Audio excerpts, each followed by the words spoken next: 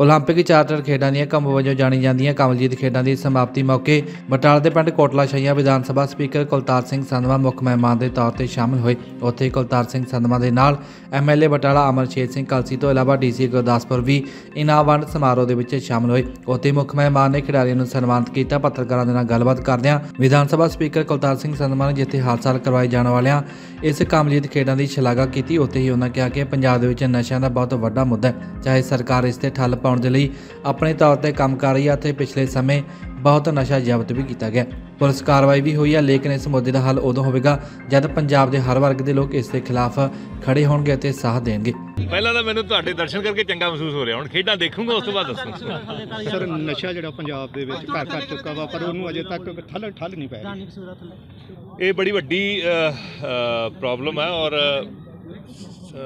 ਮੇਰਾ ਖਿਆਲ ਹੈ ਵੀ ਇਹਨੂੰ ਜਲਦੀ ਸਰਕਾਰ ਇਹਨੂੰ ਠੰਡ ਠੱਲ ਪਾਏਗੀ ਕਿਉਂਕਿ ਸਰਕਾਰ ਦਾ ਹੁਣ ਇਹ ਬਹੁਤ ਵੱਡਾ ਜਿਹੜਾ ਇਹ ਦਰਦ ਹੈ ਆਪਣੇ ਲੋਕਾਂ ਦਾ ਆਪਣੀਆਂ ਮਾਤਾਵਾਂ ਦਾ ਭੈਣਾਂ ਦਾ ਨਸ਼ੇ ਦੇ ਔਰ ਕਾਫੀ ਕੁਆਂਟੀਟੀ ਦੇ ਵਿੱਚ ਵੱਡੀ ਕੁਆਂਟੀਟੀ ਫੜੀ ਵੀ ਇਹਨਾਂ ਨੇ।